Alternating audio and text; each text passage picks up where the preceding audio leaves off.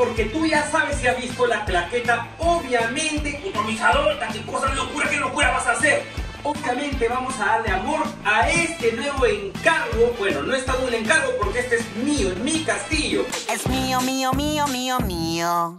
Que acaba de llegar recién hace unos días y por ende vamos a empezar a ver un poco lo que tiene adentro. Yo sé que tú, yo sé que tú has visto que tiene adentro. Vamos a ver un poco lo que tiene este castillo y vamos a compararlo versus el castillo original.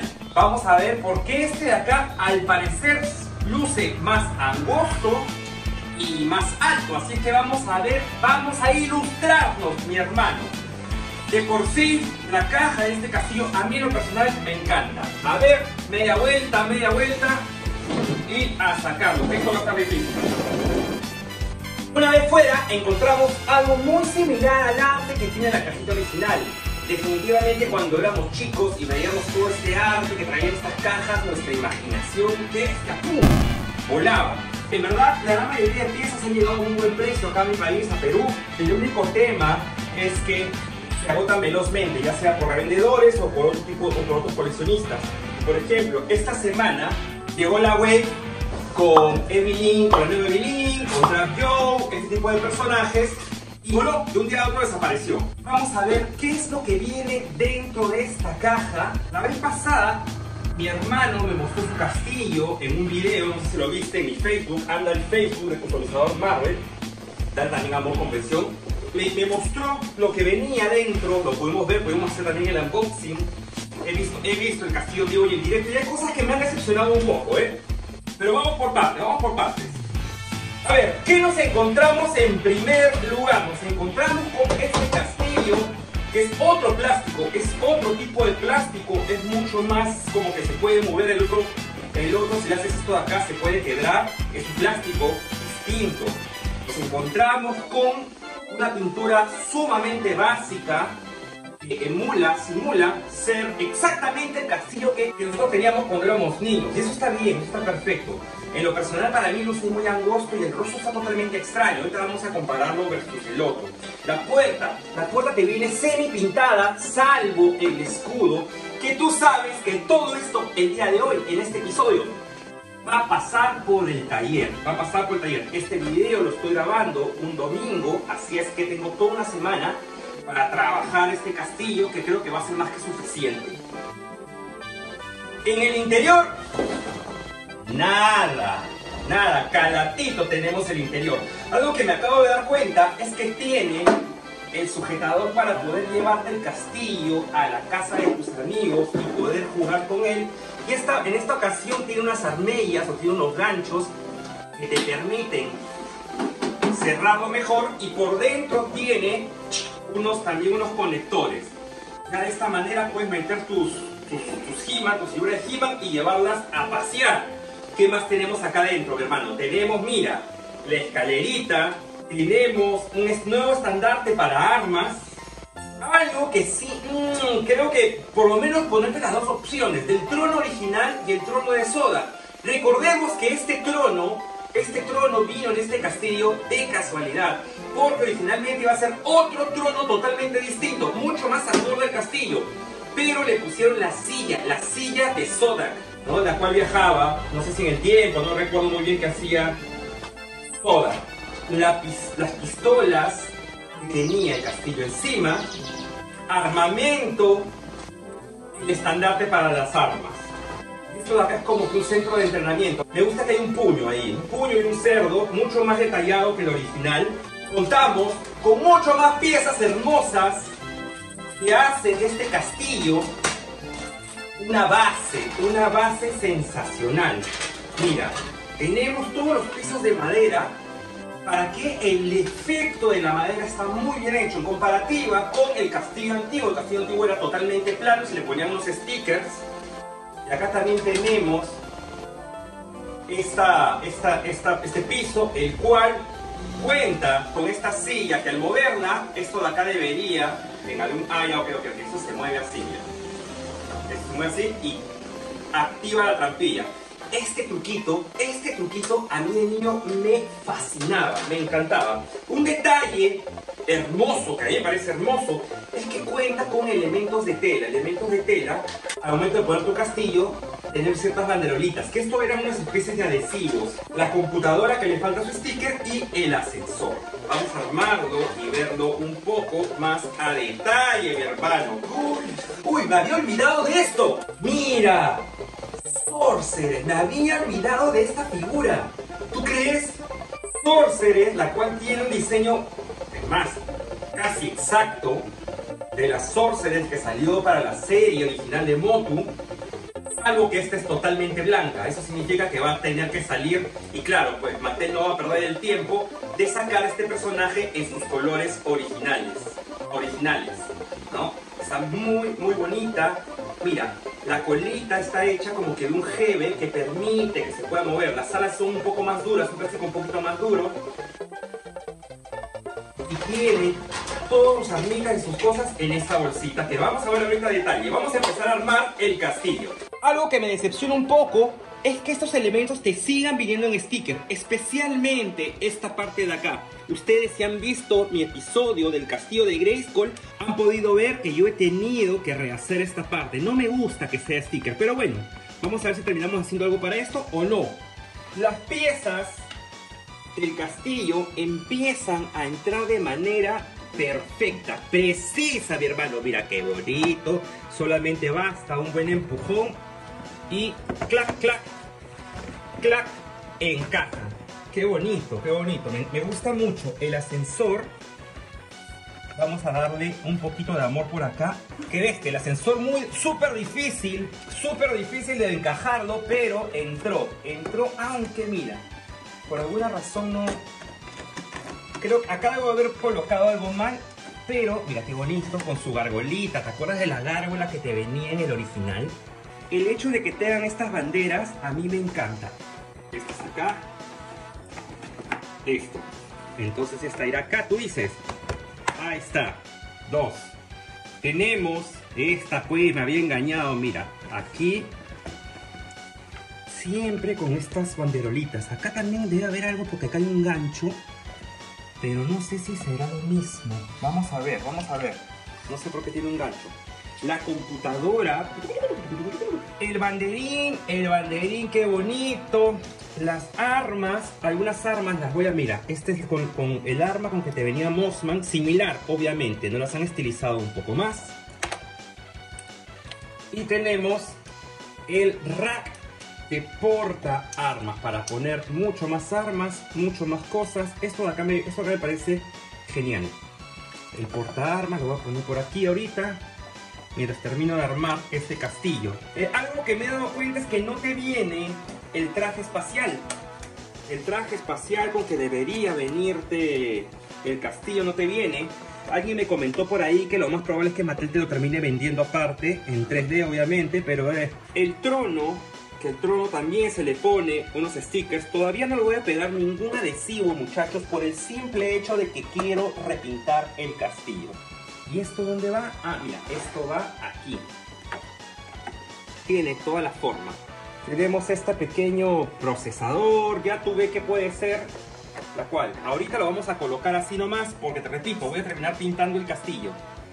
Algo bueno es que tenemos bastantes de estas piezas de aquí para poder parar las figuras y ya no utilizar limpiatipo ni nada de eso.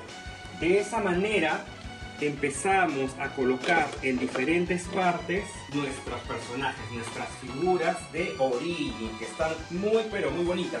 Te repito, los stickers todavía no los voy a colocar, los voy a colocar al final, ¿por qué? Porque voy a repintar todo este castillo. Vamos a empezar a darle amor. Ahora, no quiero que te vayas porque vamos a comparar un poco el diseño de este castillo versus el diseño del castillo original, solamente la parte de afuera. No voy a entrar en tanto detalle, pero vamos a verlo al toque. Listo, podemos encontrar que en verdad son del mismo ancho y casi del mismo alto. Pero este castillo de acá lo vemos más angosto porque el cráneo, el cráneo que tiene mucho más carón y la boca es mucho más grande, o sea, la boca es mucho más abierta. Eso hace que dentro de nuestra cabecita este sistema se distorsione y lo veamos extraño.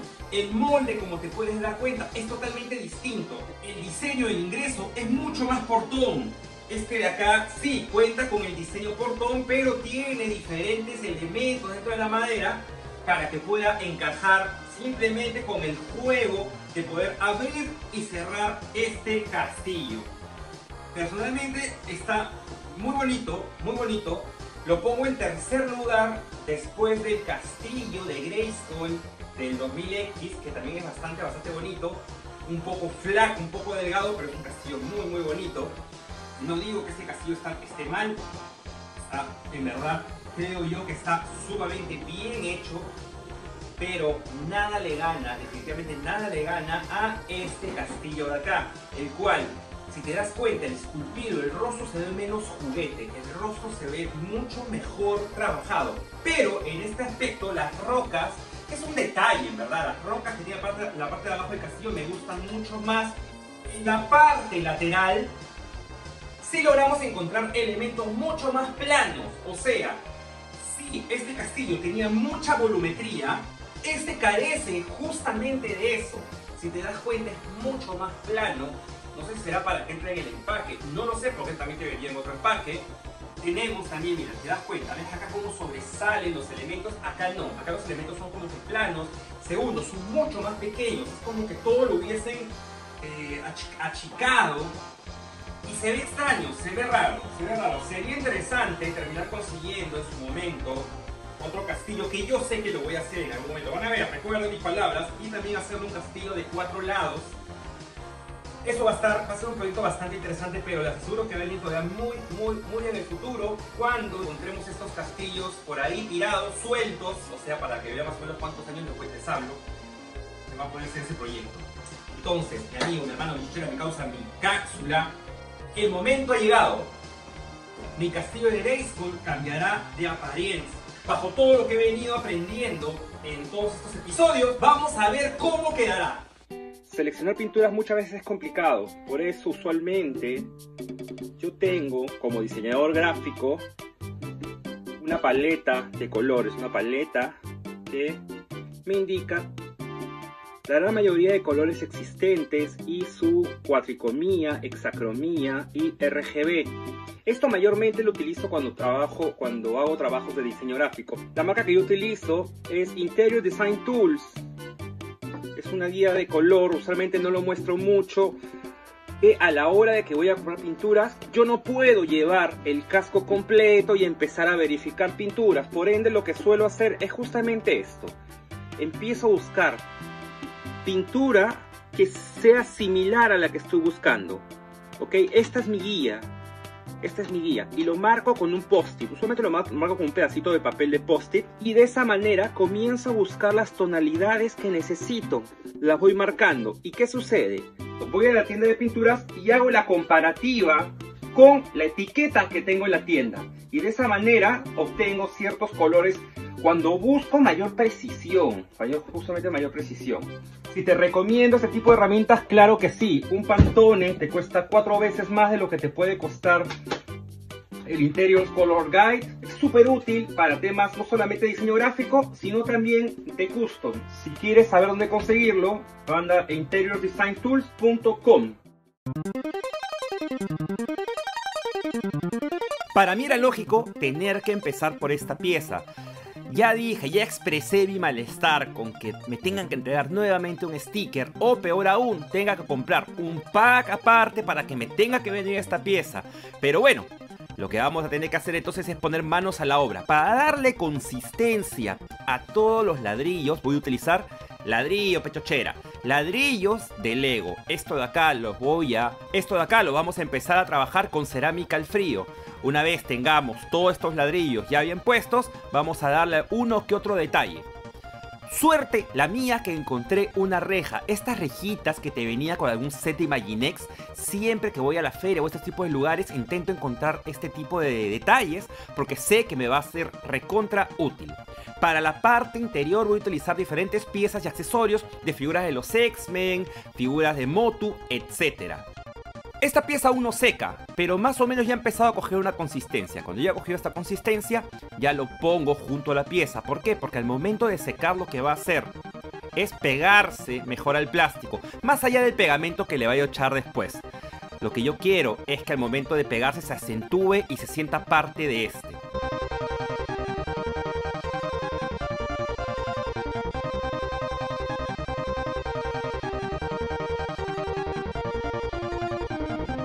Esto lo estoy trabajando todavía y este va a ser la reja.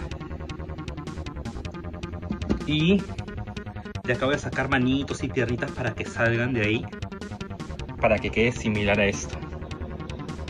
Encontré estas cajas del tesoro que le pertenecen a las figuras del Playmobil que se van a ver muy bien junto al trono. Además tienen cositas dentro platos y cosas que quizás podamos incluir dentro del castillo. Por lo pronto, ya esto de acá lo dejamos secando y ver de hacer de estas piezas las manos o cosas que vayan saliendo para que quede similar, por lo menos es la idea, que quede similar al sticker. Mientras espero que seque toda la cerámica, pongo manos a la obra en estas hermosas piezas, piezas que quiero que luzcan como si fuese madera, madera vieja, madera con moho. La base para esto es obviamente pintura negra mate. Con esto y haber pintado todas las piezas de madera en color negro voy a cerrar Empezamos el segundo día con furia. Lo primero que hicimos fue ir a comprar las pinturas. Fui a comprar mis pinturas negras, las pinturas base, fui a comprar pinturas verdes, etc. Al igual que los tablones, a este castillo hay que darle bastante amor con pintura negra, negra mate, para luego darle iluminación con un color verde oscuro. Hay que tener en cuenta de dónde vas a lanzar la pintura. La debes lanzar desde arriba. ¿Por qué? Porque desde arriba es donde usualmente viene la luz. De esa manera vamos a empezar a conservar lo que ya te dije, volumen, compadre. Para lo que son las maderitas, voy a trabajar con el típico caso de tres pinturas diferentes. En este caso ya tenemos el negro, le voy a dar un marrón oscuro y para la iluminación un marrón bastante bastante claro. Además de ponerle un poquito de wash color verde para darle ese efecto de moho en algunas piezas.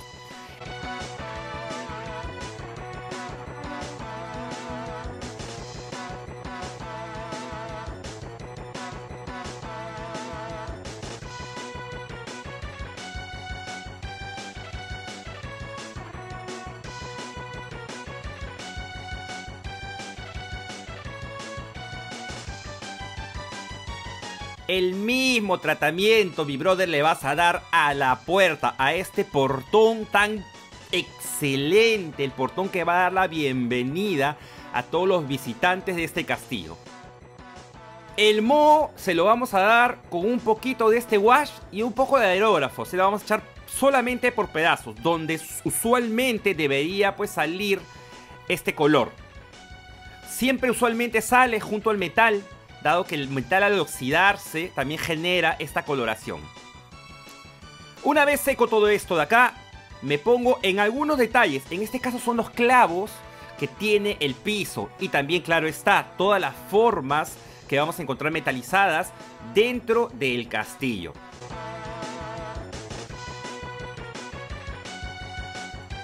Voy a dejar toda esta parte secando un rato para continuar dando más detalles, detalles a la escalera. Esta pintura me ha encantado cómo ha quedado en la escalera. Simula realmente ser una cuerda. Cuerda que tú ya sabes, esto no va a quedar así. De acá a un rato vamos a darle un poquito más de detalle.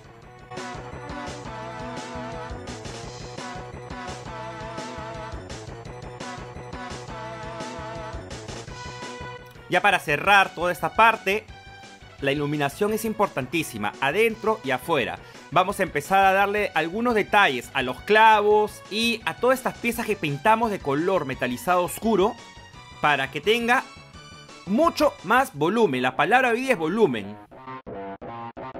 Gracias a la técnica del pincel seco es que vamos a continuar dándole iluminación al castillo. La primera parte que fue este negro y este verde oscuro me generó qué cosa, me generó el volumen y esto tranquilamente lo puedes dejar así. Pero no, mi hermano, hay que continuar dándole brillos que logras crear en el elemento. En cambio acá todavía no se ha echado nada. Se puede ver. Acá tenemos una comparativa entre el color anterior, o sea mi color base, y lo que le intento dar ahora. Usar el pincel seco es realmente fácil. Basta con embadurnar el pincel en un poco de pintura, secarlo, o sea, pasarlo sobre una superficie para quitarle un poco de pintura y dejar pigmentos. Y de esa manera le damos amor a la pieza que estamos trabajando. Los pigmentos van a quedar pegados en todas las partes que sobresalen y de esa manera ya tenemos un efecto super archi riquete contra chévere.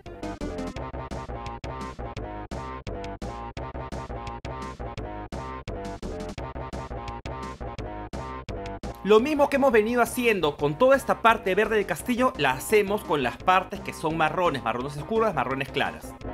Toda esta parte amigos, hasta el momento me gusta mucho cómo está quedando. El portón es para mí lo que debe tener mejor detalle al momento de pintarlo. ¿Por qué? Porque tenemos toda una base verde y el portón es lo que me va a generar un contraste bastante simpático entre las rocas y la madera. Cada versión de castillo que ha llegado a mis manos le he terminado dando amor. He terminado pintando porque ese color plástico que usualmente te viene no es mucho de mi agrado. ¡No, customizador! ¿Qué estás diciendo? ¡Estás malogrando todo el castillo! ¡Customizador! ¡Ya que eres una porquería! ¡Tu trabajo es horrible! ¡Voy a denunciar tu canal, customizador, por toda la cochinada que estás haciendo! ¡Tú no eres un fan de Motu! ¡Tú eres un fan de la destrucción!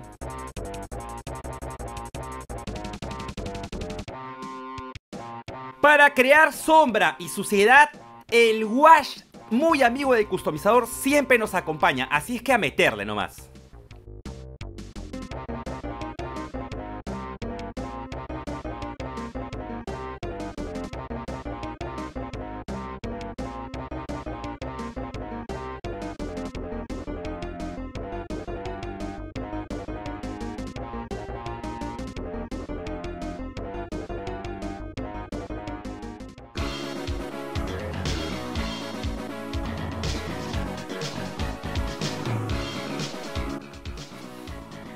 Llegamos al día 3. Me pongo en las piezas que te vienen en el castillo. Nuevamente contamos con el gran problema de tener piezas muy chillonas, así es que voy a empezar a trabajar con diferentes matices, con diferentes colores metalizados. Para las bases naranjas, lo que voy a terminar haciendo es pintándolas de color cobre. De esa manera conservo un poco de unidad con cada una de ellas.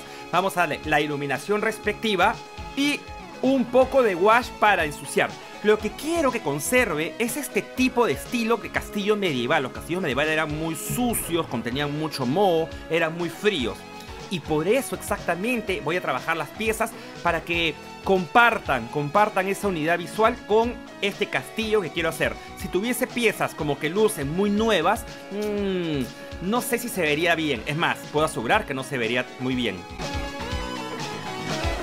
Lo bueno del color cobre es que te ayuda a rescatar un poco de ese color naranja que solían tener estas piezas. Ahora es el momento de continuar trabajando este gran calabozo. Mira, como te había dicho yo al inicio del video, ya había conseguido todas las piezas para hacerlo. Tengo en verdad bastantes piecitas que me han ayudado. Simplemente vamos a empezar a pulirles y a dar forma, a dar forma para que pueda encajar.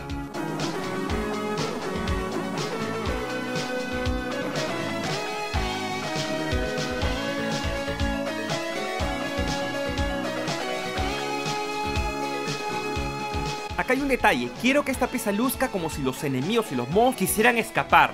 Voy a hacer entonces que la reja se abra solamente un poco y empiecen a salir.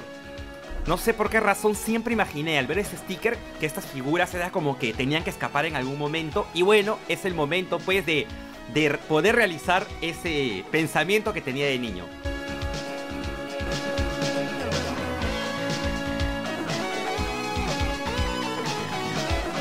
Ya estamos listos y preparados para empezar a armar el castillo. He conseguido un montón de piezas que nos van a hacer fantásticas, nos van a ser de mucha ayuda para poder darle vida a este castillo. ¿Cómo crees que va quedando, mi hermano? ¿Te va gustando? Porque espero que sea así. ¡No me gusta! ¡No me gusta! ¡Rompe juguetes!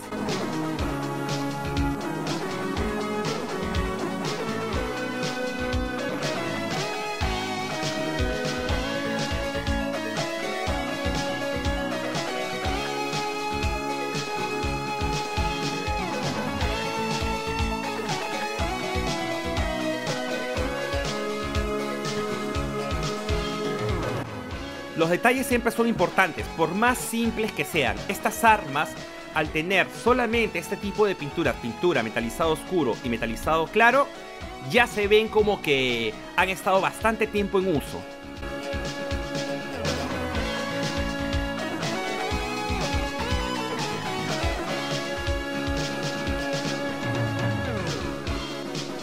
Lo mismo que hicimos con el trono, lo mismo que hicimos con estas piezas, vamos a hacerla con el ascensor y esta especie de elemento robótico que suele tener esta, este castillo, al cual le vamos a añadir algunas piezas también que simulen ser pues este, tecnológicas. Esto simplemente para que el castillo tenga mucho más elementos que ayuden, ayuden a que se vea mejor.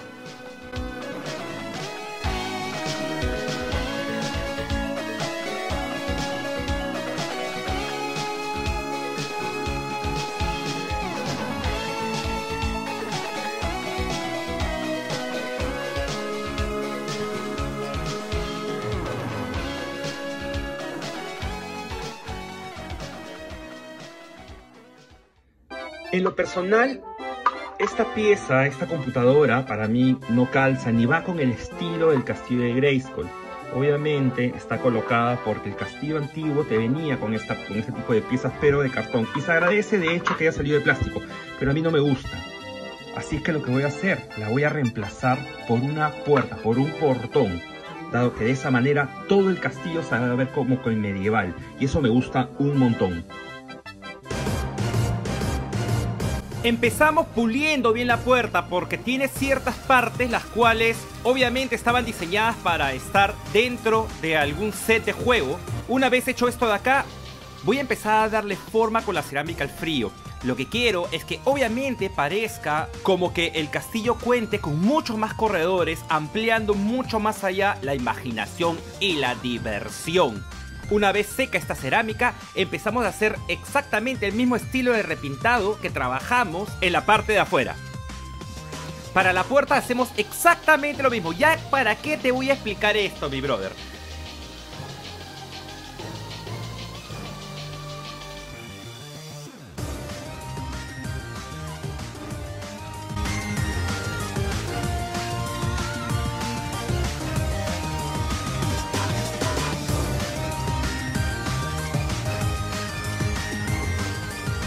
Finalizamos toda esta parte de repintado dando solamente algunos brillitos o algún tipo de detalle.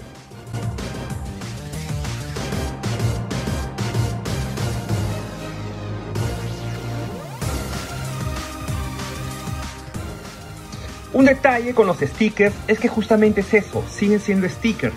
Me hubiese gustado que esta pieza de acá sea tridimensional.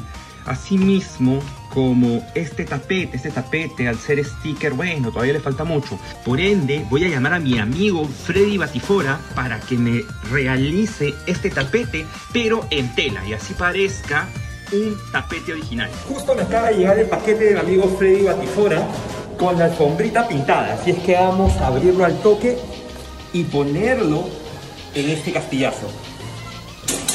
Vamos a ver, en teoría debe ser similar, similar, no, no quiero que sea exactamente igual tampoco, dado que es un trabajo totalmente hecho a mano.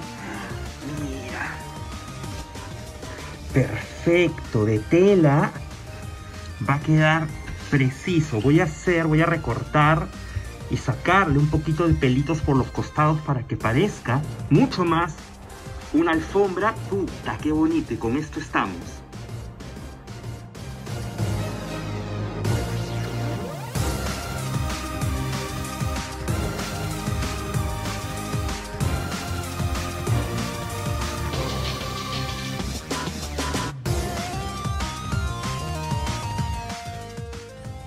Una vez ensuciado un poco, voy a utilizar este pegamento de aquí, que es un pegamento en spray justamente para telas y ese tipo de cosas, y a ponerlo.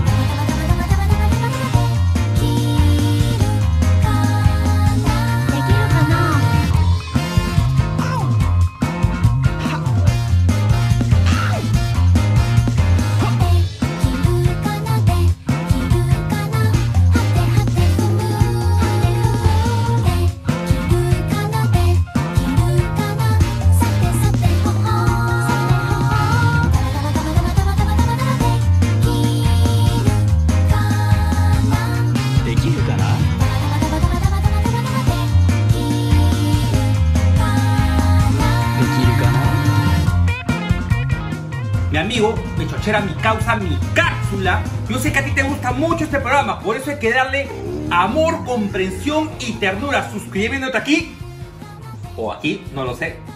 Y compartirlo con tus patas.